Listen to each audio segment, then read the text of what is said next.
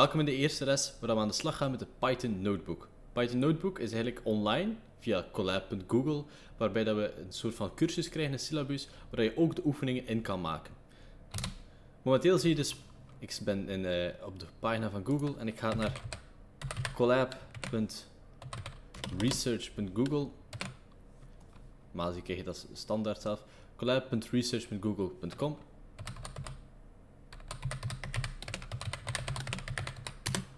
collab.research.google.com. Je zal je eerst moeten inloggen. Ik word standaard ingelogd. En dan zal je je notebook moeten uploaden. Die notebooks krijg je via Smart School of via Teams. En die kan je daar downloaden. Het is niet de bedoeling dat je ze daar opent. Het is de bedoeling dat je ze downloadt naar de computer. En hier uploadt bij de uploadpagina. Choose, choose file. Ik ga op zoek naar mijn materiaal. Dus ik ga eens kijken in mijn mapstructuur. Collab Notebooks. Ik ga de eerste uploaden. Even wachten tot het ingeladen is. Voilà. Ik zit in mijn Collab Notebook te werken, dus dat is dus een online syllabus. Daar kan je digitaal aan de slag. Voilà. In de eerste les hebben we een aantal stukken gezien van Python. We hebben variabelen gezien, we hebben uh, wiskundige formules gezien. We hebben gezien wat een gewone deling is, gehele deling, een modulo deling, we hebben gezien dat we variabelen naam kunnen geven, wat datatypes zijn, strings, integers, floats.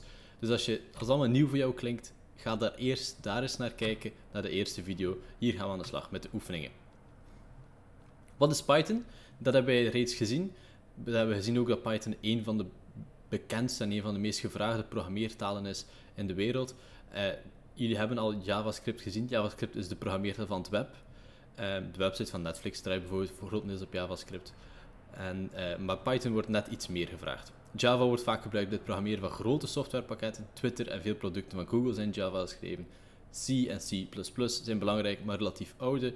Uh, worden, die staan dicht bij de hardware, worden vooral gebruikt voor besturingssystemen. Dus uh, als je Windows gebruikt of macOS, worden heel dicht bij de hardware geschreven. Dat wil zeggen, dat is eigenlijk vooral belangrijk voor besturingssystemen. Voilà. Wanneer is Python als rekentoestel? In het hart van bijna elke computerprogramma steekt een portie wiskunde. Computers zijn eigenlijk gewoon gigantische rekenmachines. Al is het maar om getallen bij elkaar op te tellen of door elkaar, of, of door elkaar te delen. Python kan dus zeker gebruikt worden als krachtig rekentoestel. Voer de volgende code uit en bekijk de uitvoer. Probeer na te gaan wat er juist gebeurt. Je mag gerust code toevoegen of wijzigen. In een notebook, of in een Python notebook, is het dus mogelijk om stukjes code te implementeren en die je kan uitvoeren. Dus hier dan kunnen we eens kijken, als ik op dit laat runnen, zal hij die code uitvoeren en zal hij een resultaat genereren. Als we naar die code kijken, wat zal er gebeuren? Print, Python als rekentoestel, 5 plus 7 is 12, 3 maal 7 is 21, 17 min 2 maal 8, oftewel 15 maal 8, 120, 1 en 1,6. Als ik die waarde zo aanpas, ik maak hier bijvoorbeeld een 6 van, ik ga hier een 8 van maken, hier gaan we dat niet maal 7 doen, maar maar 11. En ik voer die code opnieuw uit. Krijg ik andere waarden. Dus je kan Python gebruiken als rekentoestel.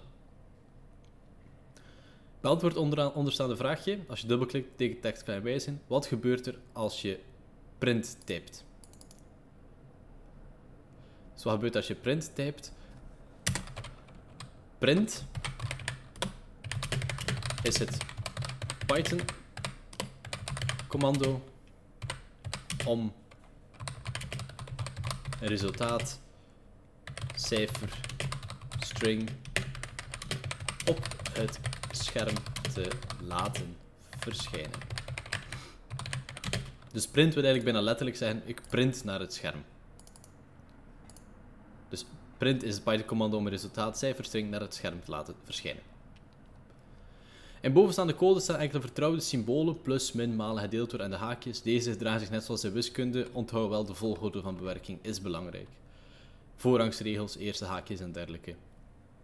Er zijn nog een aantal symbolen waarvan de betekenis minder voor de hand ligt. Bekijk volgende code en probeer opnieuw na te gaan wat de betekenis uh, is van die symbolen. We hebben die eigenlijk in de vorige les reeds gezien. Dus dat zou relatief eenvoudig moeten zijn. Deze symbolen, we hebben hier print 10 maal maal 3 print 2 maal maal 5 gedeeld door, gedeeld door, gedeeld door procent, gedeeld door, gedeeld door, gedeeld door procent. Eigenlijk, die tekens, we zouden die code kunnen uitvoeren. Maar aan de hand van wat we de vorige les gezien hebben, zou je eigenlijk al moeten weten wat die betekenen. Maal maal wil eigenlijk zijn verheffen tot de macht. Dus 10 maal maal 3 is 10 tot de derde. 2 maal maal 5 is 2 tot de vijfde.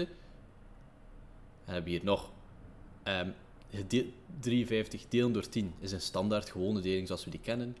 53 gedeeld door gedeeld door 10 is de gehele deling. Dus dan komt die 5 uit, want 53 delen door 10 is 5, rest 3. En dan zal hij enkel die 5 schrijven. Willen we enkel dat hij die rest schrijft, dan kunnen we 53 modulo, procentteken is een modulo operator, delen door 10. Dan hebben we dus 5 rest 3. En zal hij dus de 3 printen, die je hier ziet staan. Dat is deze 3. 9 delen door 2 is 4,5. 9 gedeeld door gedeeld door 2, het gaat hier over gehele getallen, is dus 4. Opgelet, Python rond dus niet af naar boven. Een 4,5 is geen 5. Een 4,5 is een 4. 2 modulo, uh, 9 modulo 2 eerder is dus 9 gedeeld door 2, enkel de rest, dan zal hij dus 1 uitkomen. Want 9 delen door 2 is 4, 8 delen door 2 is 4, rest 1, zal hier de 1 uitkomen. Enkele vraagjes om te beantwoorden. Wat is de betekenis van maal maal? De betekenis van maal maal is tot de macht. Dus we gaan iets tot de macht verheffen.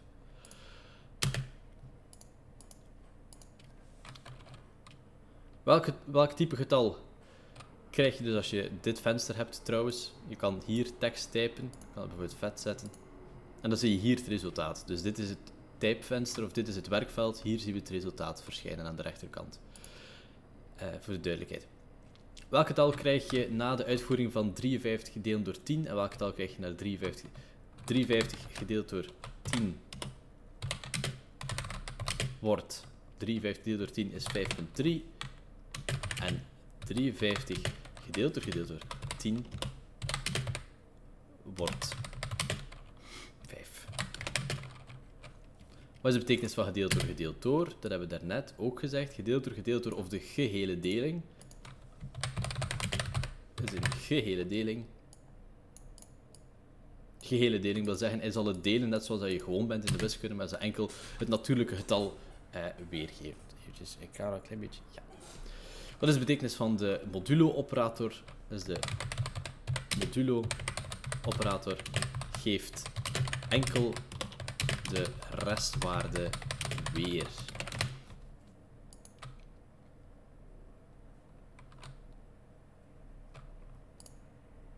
Dus module operator enkel de restwaarde. Er zijn dus zowel gehele getallen in Python als komma-getallen. Een geheel getal is van het type integer, dat hebben we de vorige keer ook gezien, of int, een komma-getal van type float. Dus een geheel getal is een integer, een komma-getal een float. Enkele oefeningen Voorspel voor elk van volgende commando's of er een integer of float zal worden weergegeven op het scherm. Controleer nadien of de code effectief uit te voeren. Ja. Dus 3 of 7 tot de derde, dat zal een integer zijn. 3,14 maal 5 tot de tweede. 5 tot de tweede zal een integer zijn, maar 3,14 is een float, is een komma getal. Dus dat zal een float zijn. Print 8 modulo 5. Dus dat is dan 1 rest 3. Dus dat is al een 3 typen. 3 is een float. 3 sorry, is een integer. 3 is een integer. Een heel getal.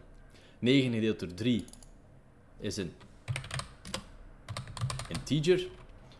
En 9 gedeeld door gedeeld door 3 is ook weer 3. Want 9 gedeeld door 3 is een geheel getal. Dat zou ook een integer zijn. Dus een integer, integer, integer, een float en een integer.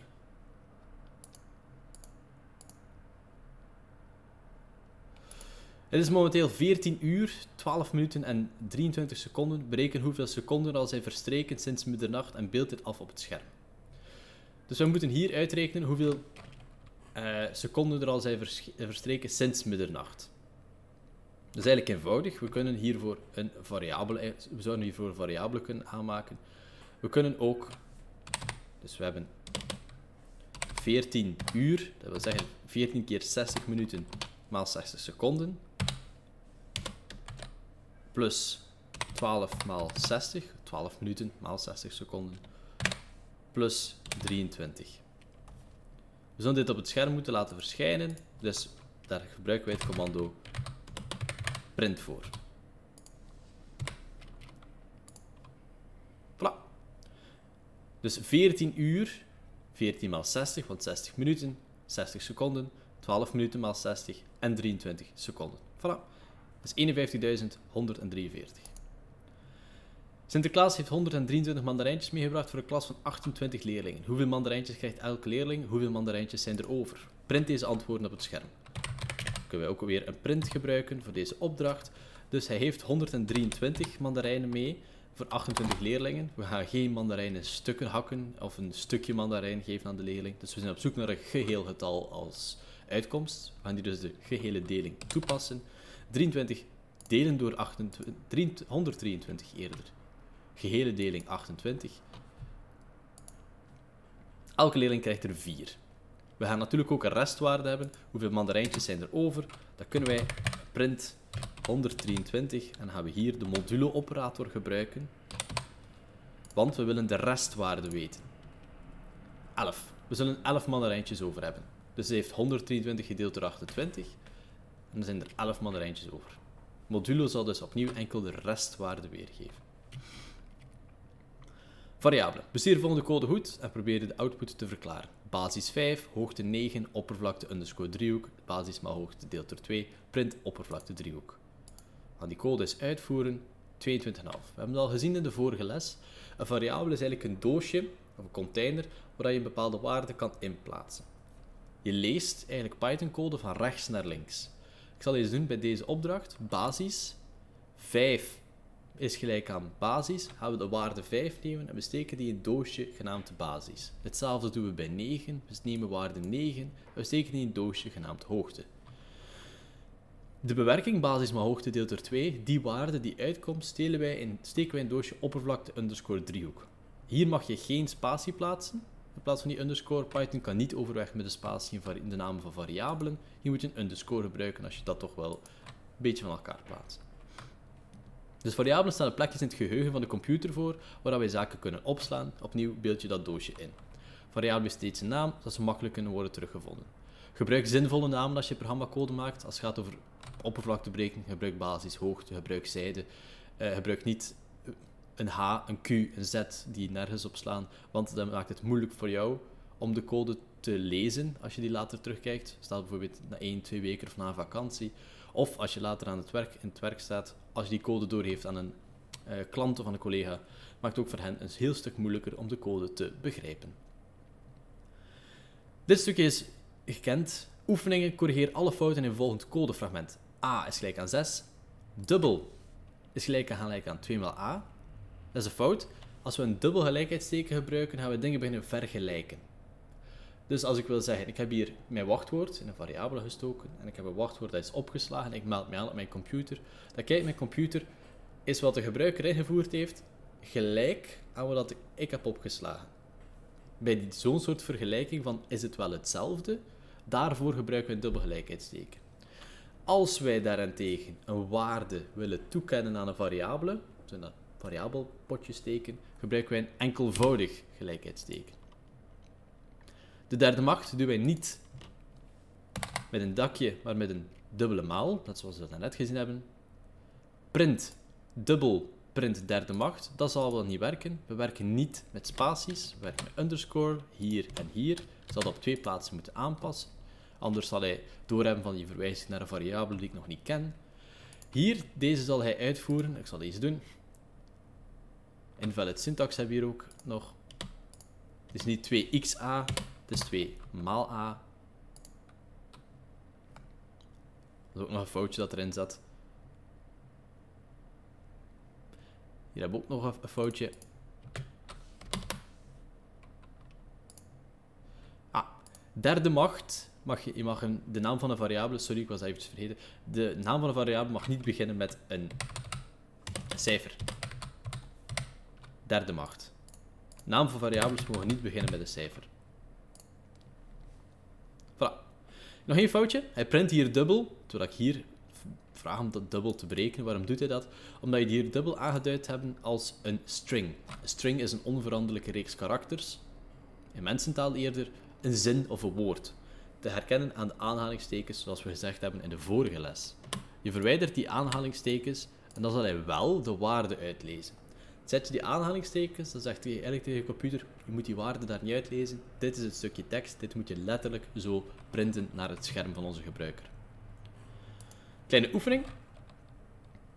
Gegeven is een driehoek met basis 4 cm, hoogte 5 cm. Steek deze twee getallen elk in een eigen variabele en toon vervolgens de oppervlak van de driehoek op het scherm. Dus ik heb hier een basis, die basis is 4. Ik heb hier een hoogte en die hoogte is 5. Die heb ik allemaal uit gegevens. Uh, oppervlakte is basis maal hoogte. Het is een driehoek, de formule is basis maal hoogte delen door 2, niet vergeten. Print oppervlakte.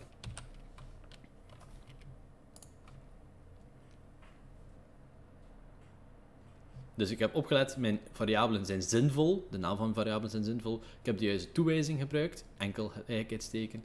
Ik heb mijn formule gebruikt met oog voor de volgorde van bewerking, maal gedeeld door, allemaal geen probleem. En print oppervlakte. Klaar. Volgende. Je stort 100 euro op een spaarboekje en vervolgens spaar je elke maand 10 euro bij. Hoeveel geld staat er op je spaarboekje na 3 jaar? En na 10 jaar. Toon dit resultaat op het scherm. Dus ik heb een spaarboekje. Mijn spaarboekje bevat 100 euro. Elke maand spaar je 10 euro bij. Dat wil zeggen dat je daar elke maand 10 euro bij komt. Hoeveel geld staat er op het spaarboekje na 3 jaar of na 36 maand? Dus 3 jaar. Uh, we zullen dat uh, tijd noemen. Tijd is gelijk aan 3 maal 12.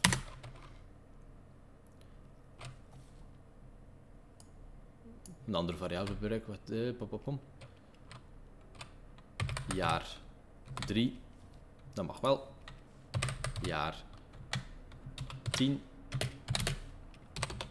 is 10 maal 12. En voor ons spaar je elke maand 10 euro bij. Ja. Dus we hebben een, uh, elke maand storten wij daar 10 euro extra op. Het is niet alsof we zo met een interestformule werken. Dus uh, we gaan de berekening daarmee doen. na jaar 3 is gelijk aan spaarboekje plus jaar 3. 3 maal 12 maal 10. We sparen elke maand 10. Dus 3 jaar van 12 maand, elke maand 10 euro. Na jaar 10 is gelijk aan spaarboekje plus jaar 10.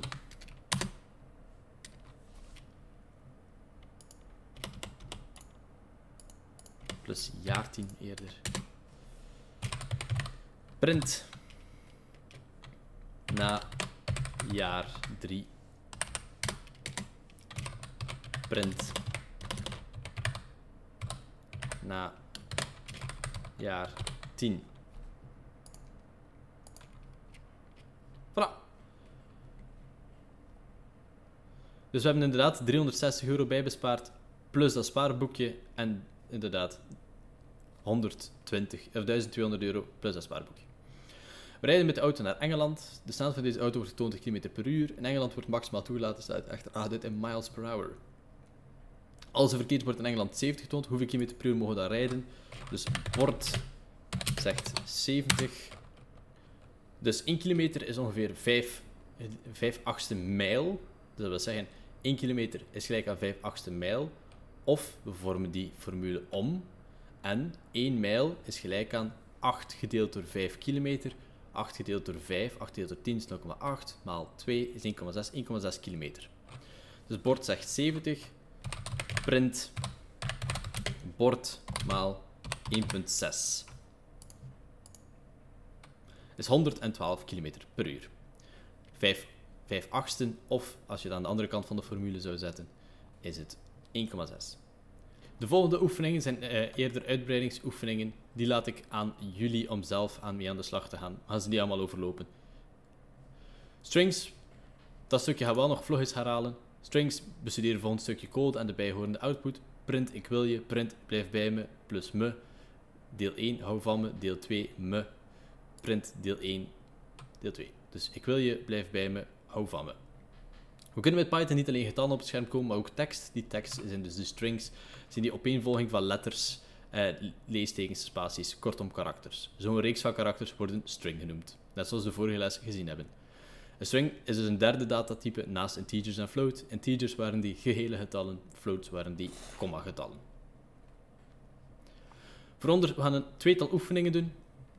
Voor onderstaande code, voer onderstaande code uit en verklaar het verschil tussen de uitvoer. Denk goed na welk datatype er gebruikt worden. Print 2, 3 x 2, print 3 x 2, print 3 plus 2, print 3 plus 2. 3 x 2 is 6, 3 x 2 is 3 x 2, want met de aanhalingstekens zal het gewoon letterlijk printen. 3 plus 2 is 5, maar 3 plus 2 zal die 2 gewoon tegen elkaar kleven en krijgen we dus 3 en 2 ernaast geschreven of 32.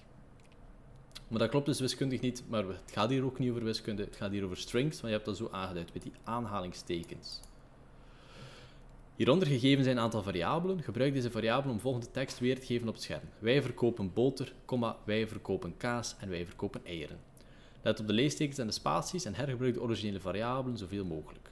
Start wij verkopen boter, kaas, eieren. Sprinten.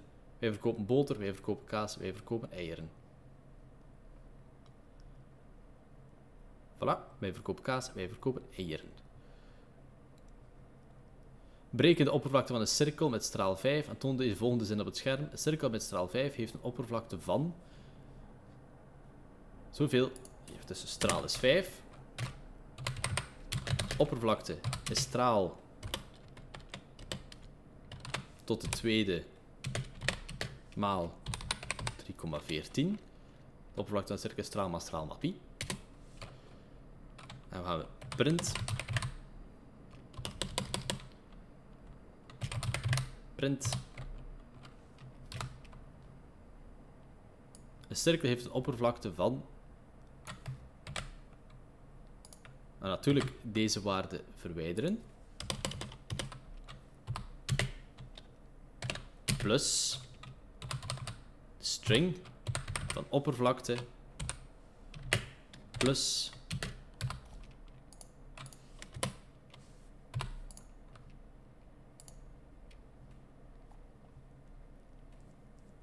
hier staat er nog een dubbele aanhalingsteken. Ik dacht dat dat... Ja. Dus, straal is 5, oppervlakte straal maal straal maal pi. Print, een cirkel met straal 5 meter heeft een oppervlakte van... String oppervlakte. En hier zou ik in feite hetzelfde kunnen doen. Hetzelfde kunnen doen. Met een straal van... Plus. Dan gaan we daarbij schrijven. Plus string r plus. Ja. Wat heb ik nu gedaan? Ik heb een print gemaakt, een cirkel met een straal, dat is de eerste string. Dan heb ik een string gemaakt van mijn r-waarde, mijn variabele hier. Waarom? In JavaScript konden we heel makkelijk strings en cijfers door elkaar gebruiken. In Python gaat dat niet zo makkelijk gaan. In Python moet je eigenlijk eerst alles eerst converteren of omzetten naar een string voordat je daarmee aan de slag gaat. M heeft een oppervlakte van, opnieuw waarde omzetten. Als ik dat gewoon zou typen, oppervlakte, zou ik oppervlakte gewoon meenemen. Als ik dat niet omzet, zo hier met een string en die plusjes op zijn plaats zet, zal hij daar een fout geven. Je kan geen floats en integers door elkaar gebruiken met strings. Wil je printen naar het scherm, dan zullen wij werken met deze omzetting. Inputs en omzetting tussen types. De computerprogramma's die we toegeschreven hebben, zullen altijd resultaat, hetzelfde, hetzelfde resultaat of dezelfde output hebben, tenzij we de code aanpassen. Naar gebruiksvriendelijkheid toe, niet iedereen kan programmeren, zou het handig zijn als we een computerprogramma zouden kunnen laten afhangen van gegevens die de gebruiker een computer ingeeft.